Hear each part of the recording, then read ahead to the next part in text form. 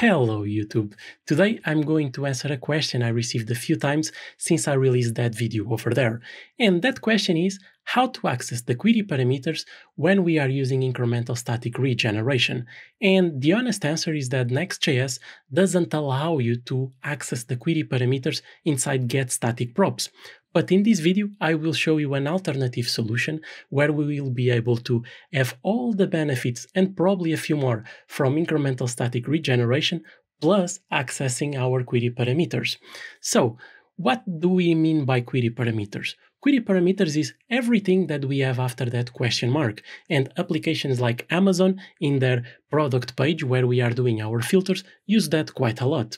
So, how can we deploy something like this in order to use my solution? If you are just deploying your Next.js server like that and your users access it directly, my solution will not work because I will require a CDN. The CDN is where we will do all the magic tricks in order to have the cache. So if you are using already Vercel or Netlify, this is done completely out of the box for you. You don't need to do anything. If you are using any other cloud provider, you just need to activate or enable the CDN for your deployments. Okay? Now that we said that, let's just do a small introduction to incremental static regeneration. I will just kind of repeat what I said in that video. So if you already watched that video, feel free to go ahead to the next chapter where I'm going to give you the solution for this problem. Now, for the ones of you that want to see the timeline, let's first start by a normal parameter. So this ID will be a parameter, and then we will go to the filters in order for us to play with the query parameters. So usually a Next.js with getStaticProps and getStaticPaths is something similar to this. The only change I'm going to do in that fallback is that I will change the fallback from true to fallback blocking. Then you can have just a normal query to your database. As you can see here, we are using the normal parameters, not the query parameters, and then we are just returning those properties. You can see that revalidate20 is asking Next.js to keep that data as fresh for the next 20 seconds. If a user goes there after 20 seconds, then Next.js needs to revalidate the page, but still sends old data to that user. So let's just see a few bullet points and then we will see a diagram explaining this better. So Next.js, in that specific example, will attempt to regenerate that page at most one time for every 20 seconds. Even if 1000 users go to that page, Next.js regenerated that page one time, and then for all the other users, they just receive something that Next.js saved into disk. Okay? Then, if no users hit that page for the next three hours, Next.js will not regenerate that page during those three hours, even though we said that the regeneration is only valid for the next 20 seconds, right? But if no user hits that page, then that page will not be regenerated. Now, the first user that hits that page after those three hours will get a page that is three hours old in terms of data. Behind the scenes, Next.js will start a new regeneration process, and when it's finished, it will save it to disk. And this is what is normally called stale while revalidate. You should probably uh, memorize that word, stale while revalidate, because we will use it in a few minutes' time. Okay? Now, let's see the diagram of a real timeline for the incremental static regeneration. Let's say that at zero seconds, that happened a generation of a component, right? Anyone that will request a page between 0 and 20 seconds will just receive whatever is in cache and it doesn't trigger any new build for Next.js. Anyone that requests a page, let's say after 50 seconds, that user will get data that is 50 seconds old. Next.js, behind the scenes, will start a generation, and let's say each generation takes 500 milliseconds or something like that, depending on your database query speed, right? And after those 500 milliseconds, let's say 5 seconds after that, another user comes. That user will get data that was generated in this moment over here, okay? So we can now isolate that generation and that user and put that at the beginning of our chart. So now our, our chart is again at zero seconds. So everything from now on, it will be just a repeat of that. Every time that Next.js does a regeneration, it's like we start the chart again from zero and the time will start to count. So now that we have a good understanding of the timeline from incremental static regeneration, I think you are ready to start to look into the filter part, right? And as I said, the filters will we will care about everything after that question mark. So if you go and you try to do something like this, context.query, as you can see, my VS Code over there is already complaining because, well, query, as I said in the beginning of the video, is not available inside our get static props. So what can we do? Well, an easy solution for us is to go to our get static props and replace get static props by get server side props. And if we do that, the next thing we need to remove is that revalidate 20 because get server side props on every request will just generate the page. So at this stage, we lost all the benefits from caching, right? Every request, if we have a thousand requests in that second, Next.js will generate that page a thousand times. So you might be saying, this is very bad, right, Bruno? Yes, it is. That's now when we are going to use the CDN. So let me give a bit of space at the beginning of this file. And now that we have space at the beginning of this file, let's play with the headers for our CDN. So then the first thing we need to do is to say context, which is this thing over here in our get static prop, uh, get server side props. And now that we have that context, we can do dot response dot set header, and the header that we care about will be the cache control. So the first header that we will use will be an s-maxage, and this s-maxage, like the revalidate on Next.js, is telling our CDN that this data is fresh for the next 20 seconds. All right.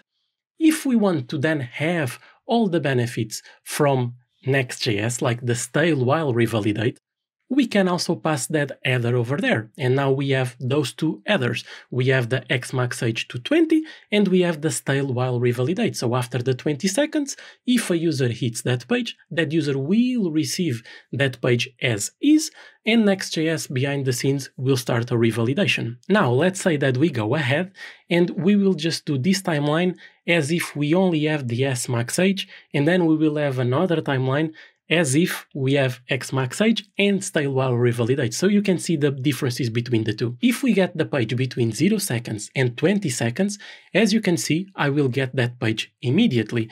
So exactly the same as before when we were using incremental static regeneration from Next.js.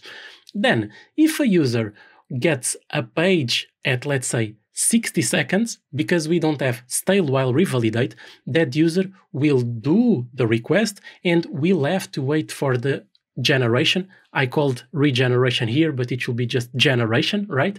It will wait for that page to be generated, and then that user will receive that page. So let's say that between here and here, it took one second. Our user will see one second our browser completely blank. Nothing is there in our browser. So we can now go ahead and add that stale while revalidate.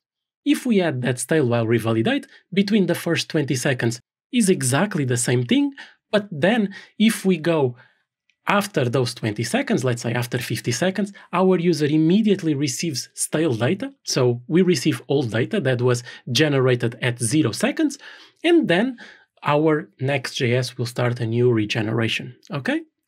So at this moment, we can get the best of both worlds. We will be able to get our query, still get the stale while revalidate, so we are in a very good place. We can go even a step further with this. Let's say that we add that stale while revalidate equals to 60. So you might be now asking, what is that, Bruno? Let's go again to the timeline. So for the first 20 seconds, the same thing as before, no changes whatsoever. Now, if a user requests something between 20 seconds and 80 seconds, which is whatever value we have in max age plus that value from the stale while revalidate, the user receives stale data immediately. So between 20 and 80 is the same behavior as before. Next.js will start now a new regeneration, and when it's over, we save that into our CDN.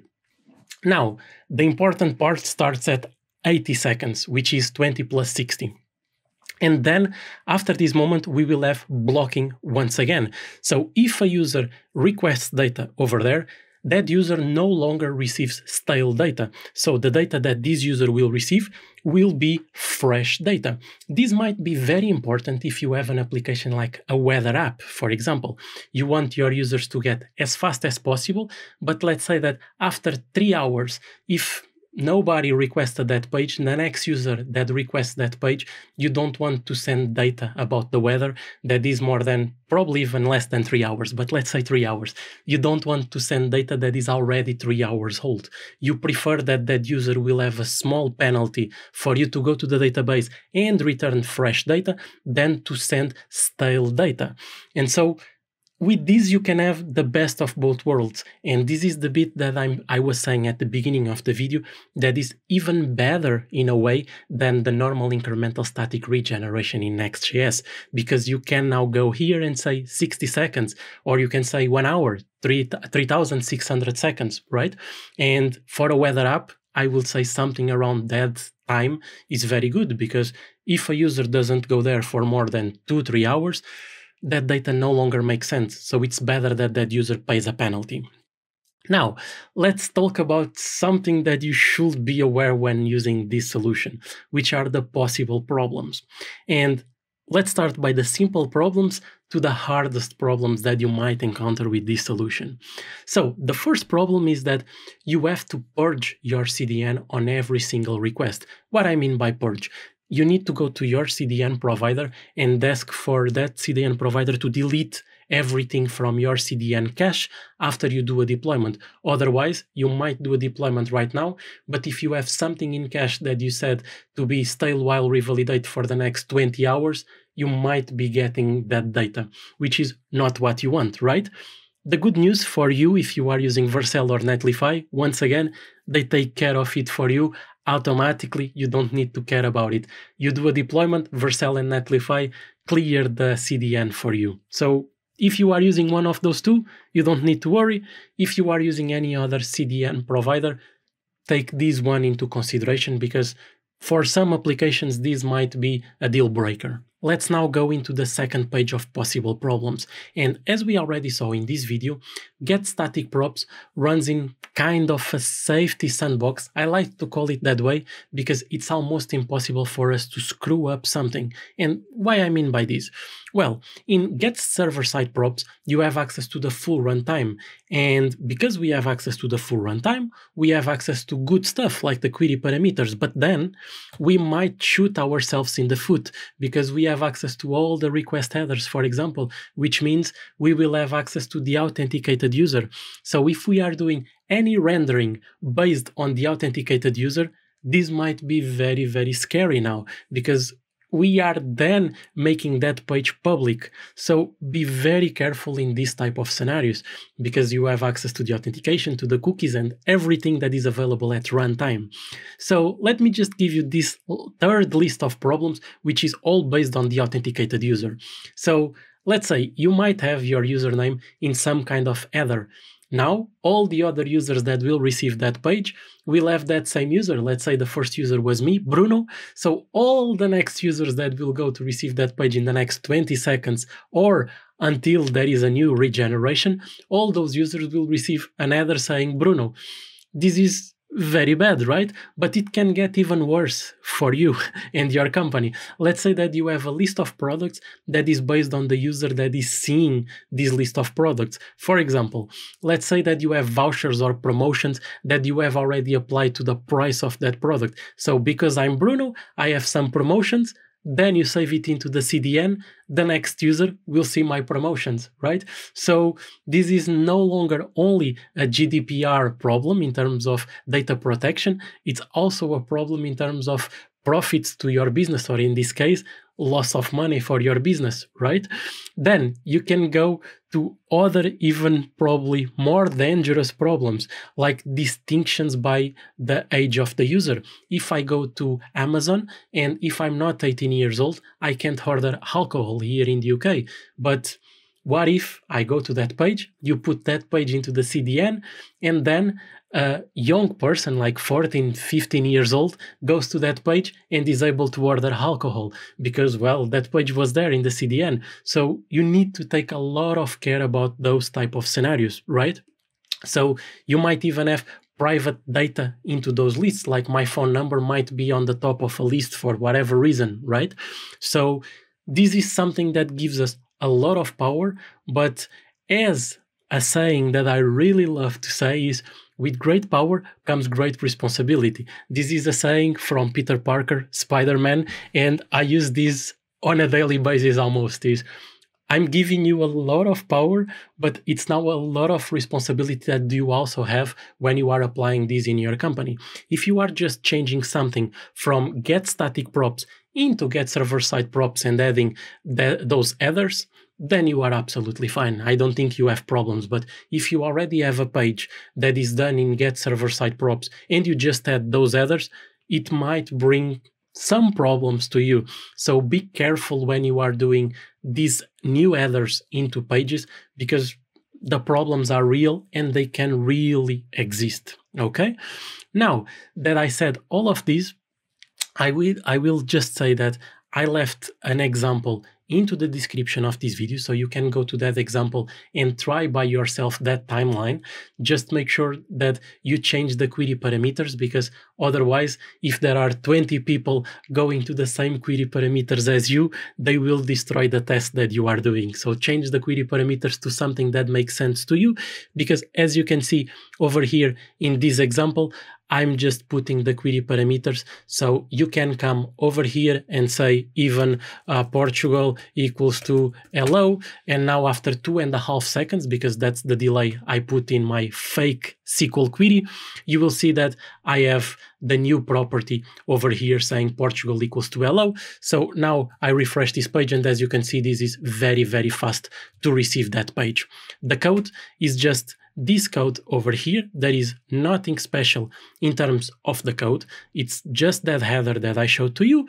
And then I'm just having this fake timeout just to simulate a very, very slow uh, API call or a very, very slow SQL query. Okay, so if you have any question or any suggestion how you can avoid some of those problems I showed to you, let me know in the comments. Like the video because that's very important for all the algorithms and those things. And I hope to see you in the next video. Bye bye.